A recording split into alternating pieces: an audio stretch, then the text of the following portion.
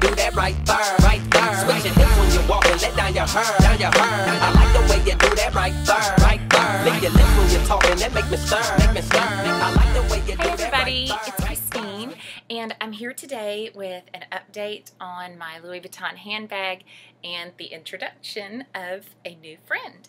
So, uh, without further ado, let's move on to a, a progress report of sorts about my delightful MM, which was purchased in the fall.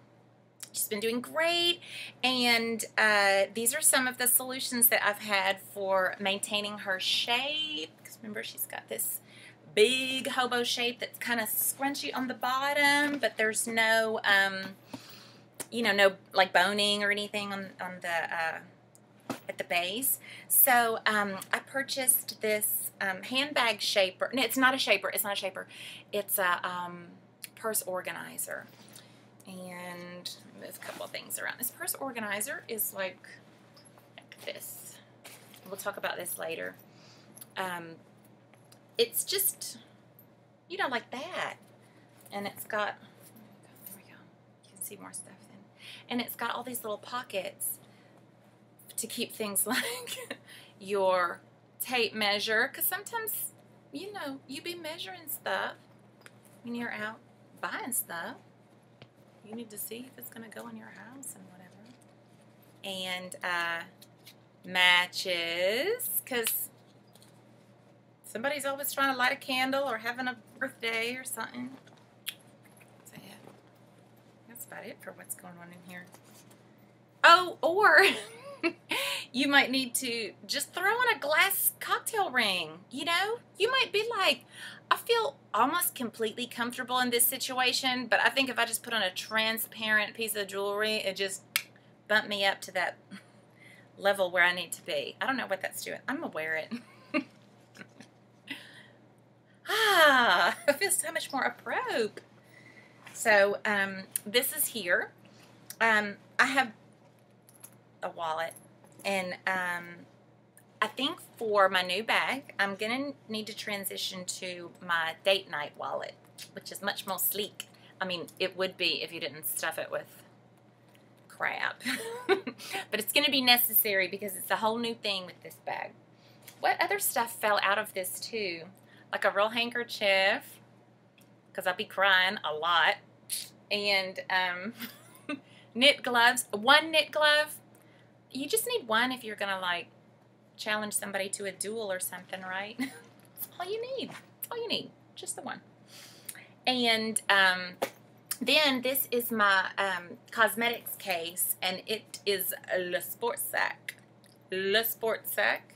I don't know if you've ever seen a LeSportsac item before, because I'm French, but I'm so sensible. it's like a wipe clean thing, and this one actually has many like compartments. And you can put your shimmer brick in there or whatever. And sometimes I put, like this is a, a rain poncho that I'm gonna wear. I'll probably put it over the bag if she ever got in the rain. That's, think that's why I put that in there. But in one of these little sides, I can put my cell phone, you know, like it can be by itself. Pins are jumping out not touching anything else. Oh, there's my comb.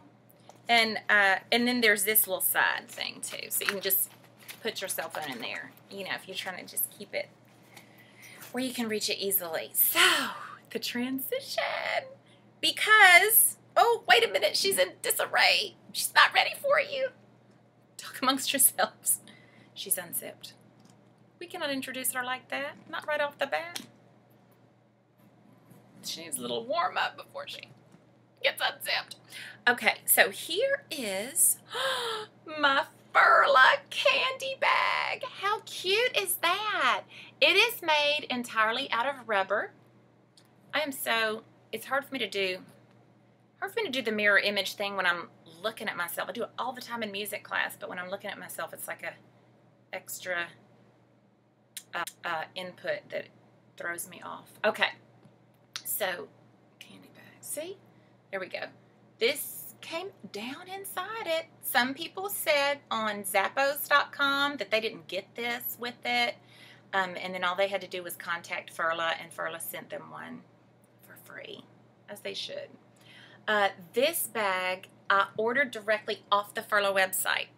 I originally saw it in Dillard's, and um, I was super excited. About, I mean, it was just so cute. I just thought it was uh, the shape of it was so classic. However, the uh, material is just like so wackadoo. I just thought that's that's me. You know, that's how I want to represent myself.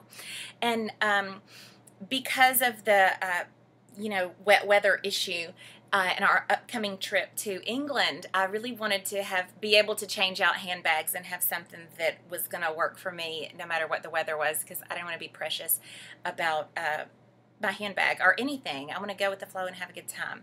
So uh, I thought this is the answer. Uh, so anyway, I fell in love with this bag in Dillard's, but you know, I like to do my online thing and get my coupon codes and my deals and steals and everything. Um, I found several colors uh, of the same design it, in, in many places. Um, Bloomingdale's online, I think Neiman Marcus online, Zappos, and Amazon.com.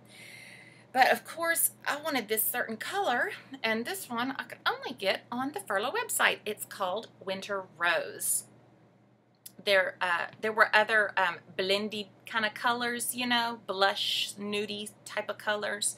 Um, but this is just the exact combination of um, coolness and um, pinkiness that I just knew was going to do it for me. Oh. So here she is. Um, so let's put some things inside and see what happens because uh, one of the concerns that you might be having already is like, Christine, I'm not sure this bag has the opacity that you're looking for. Can't you see right through this handbag? Well, yes, kinda.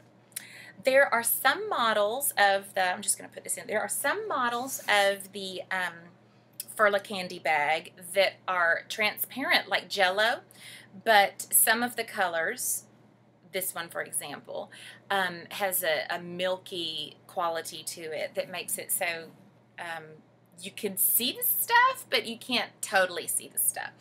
Um, so it's okay because the material that it's made out of, anyway, I wanted to make sure that I had only like white clean type of surfaces, nothing that might possibly distribute any color or um, I don't know, just be weird. So I, I, I knew from the get-go that I was going to place my La Sports Sac Cosmetics bag inside there. And see, like, from here, you can't really even see it at all, but if I turn it upside down, you can see it. And then maybe she's kind of, it's kind of leaning on this side a little bit more. You see, you can't really can't tell from this angle. And let me put some more stuff. Did I, I have my, where's my date night? There we go. It's my date night uh, wallet when I'm trying to have a small bag.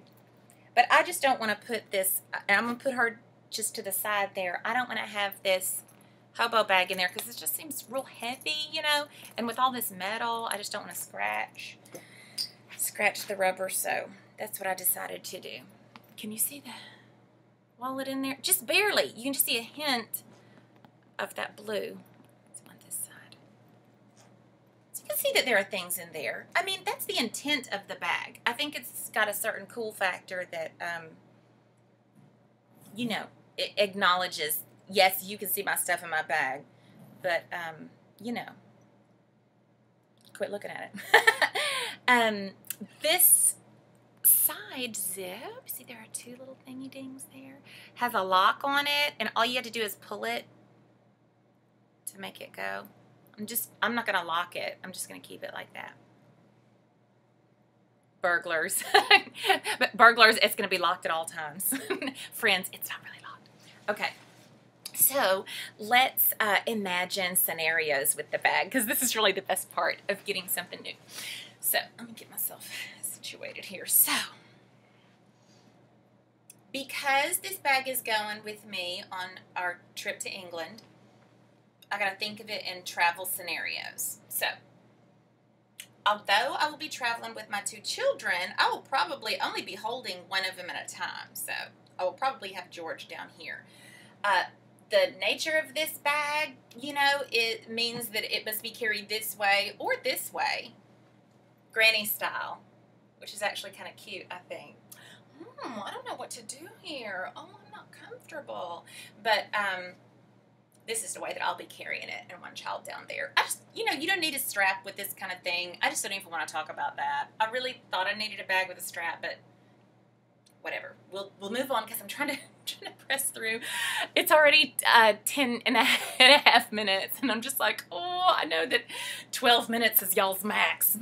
So um, anyway, things that might happen, uh, running, running through the airport, because this kind of running is not really, you know, to go fast. It's just like, oh, slow down, I'm working so hard here, and then people go, oh, bless her heart, let's just you know, stop the plane or whatever. Um, and uh, will I ever use this arm? Sometimes I might be reaching for something over here. Oh, excuse me, excuse me. I believe it's our turn. I do something like that. Really, it's going to be over here. Even though my right hand is my dominant hand, I think I could do more stuff with this one while it's uh, otherwise encumbered. So. And now for the best pose, waiting impatiently. Oh no, wait, first let's do just waiting nicely. Oh, I'm so glad to be here. Can you see the whole thing? Do I need to move this down a little bit? Let's try it. Ugh. see what happens there. Might be too, it might be too far down now. Let's see. How's that? Is this better? Waiting nicely. This thing's totally in the way. Waiting nicely. Ah, oh, I'm so glad to be here. No, y'all go first. We're fine. Okay, and then we transition to waiting impatiently.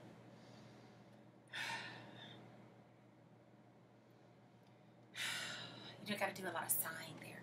That's the kind of waiting that you do, like right before somebody just comes over and completely solves your problem. Oh, man, I can take you over here. That's all that is for, just to let people know I'm a little bit uncomfortable and it's time for you to address me.